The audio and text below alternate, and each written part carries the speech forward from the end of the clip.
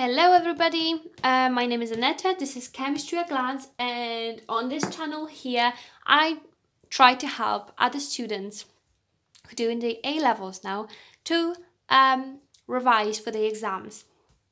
This is a series with all the organic equations you need to be able to uh, draw, write, recall for your AS level Unit 2 exam.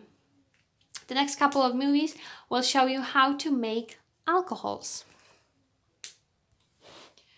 There are a couple of ways um, which you can follow to make alcohols. And first of all, we're going to start with the hydration of ethene. So if you have ethene, you can make ethanol from it.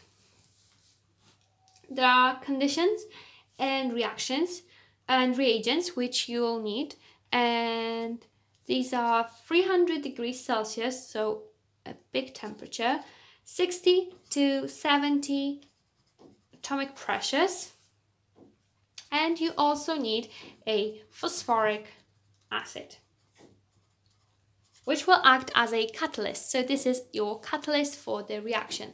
You need to remember the reagents and um, conditions for your reactions for your exam. These are very, very easy marks to get. Just write them down on a sticky note.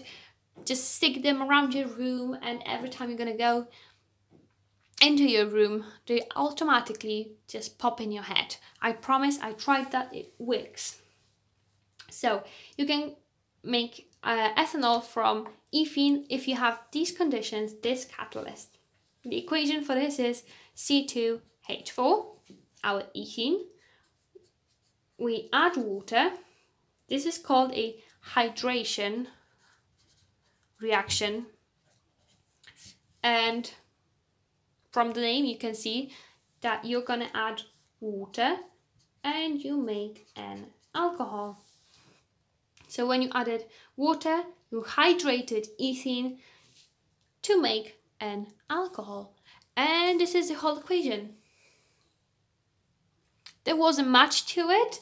Um, for next uh, making alcohols videos, um, visit my YouTube channel. There's gonna be a playlist dedicated for all the organic equations. I'm sure you can find it there and I'll also link them in the description box below. Like, subscribe and see you soon. Bye!